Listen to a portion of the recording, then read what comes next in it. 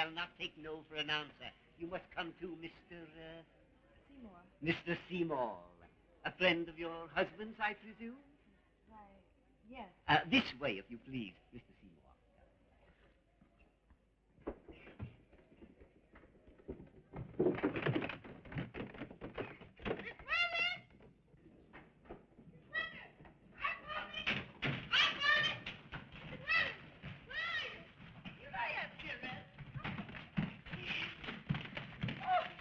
You're a good boy, Abraham.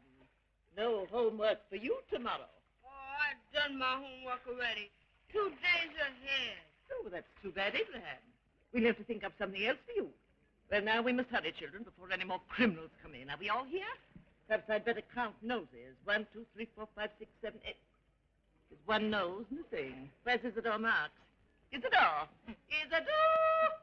Uh, yes, teacher. Come along, Isidore. Come. Isidore. You mind me.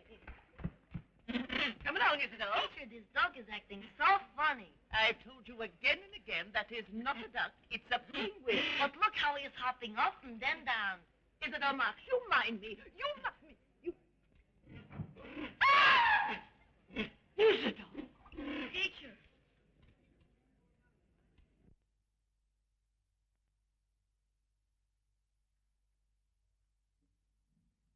This is the celebrated Finalis Vexillifer Anthropophagus. You think she is loathsome? I suppose so. You're wrong. Only this morning she killed her husband and ate him, bones, fins, and all. Nowadays, the bored wife seeks the divorce court or uses the revolver, but not so the Finalis Vexillifer Anthropophagus. Oh, dear, no. This little lady uses her teeth. Hemingway, there's a man in the penguin tank. What's the man doing in the penguin tank? Make him get out at once. But, but this man is dead. Come on.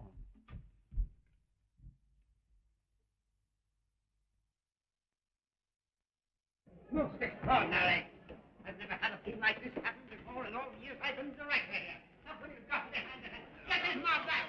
Get these